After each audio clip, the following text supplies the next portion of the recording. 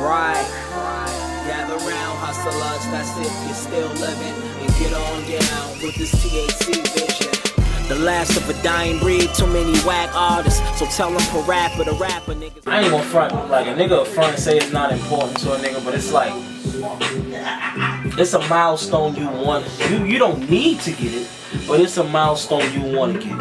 Of course that's something I want. Do I really care about it? I'm not like doing like every step I make. It's like I gotta do this in order, cause you know I gotta get nominated or I need to get that. Cause it's like whatever. But I mean, if I got it, that's cool. Everybody want to be a first round draft pick. I'm selected. I'm selective. Um, of course, you know I got my hot kick there ten. It was only right. Had to get there. Then it's somebody I feel like I feel like Den, Den was then been that nigga. You know what I'm saying? Just niggas don't know yet. You know what I'm saying? But um, once niggas really engage and really listen to my man shit, they gonna know. It's a reason why I fuck with him. You know what I'm saying? Uh, ASAP Rocky. Like ASAP Rocky is like, you know, a lot of niggas, they might have heard his joint and they might feel that's shit, but I, I feel like the kid got a lot to offer. And it's uh, it's, it's a different approach coming from a kid from Harlem.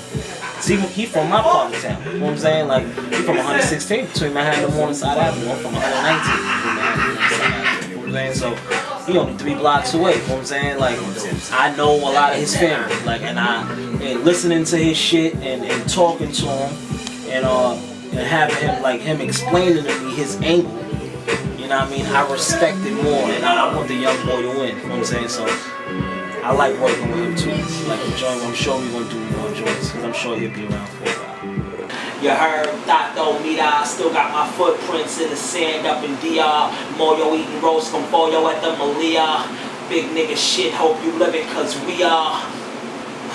keeping a buck. Know I keep rolling to keep me on stop.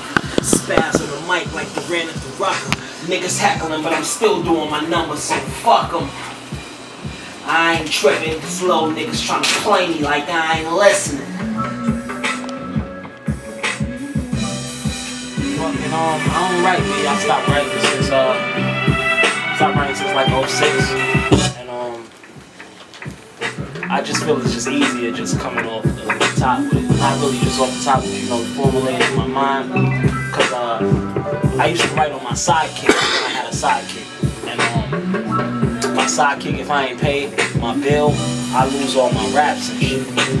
So uh, I got tired of that. I lost mad songs fucking with the sidekick. And then, you know, I get in the lab, and you know, just like you can't find two things that match. You find a pen, no pad, you find a pad, no pen. So it's just like, man, fuck it. I just started just formulating it in my mind, and, you know. Smoke Denzel the Kush Guard. I'm here, rap relapse. Relapse, be Rolling Stoned. Right.